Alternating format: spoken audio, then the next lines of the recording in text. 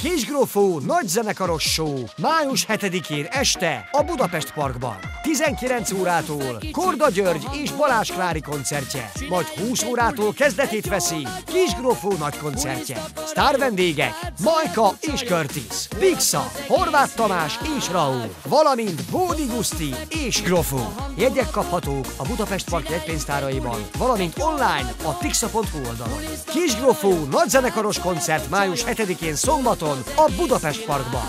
Molatási!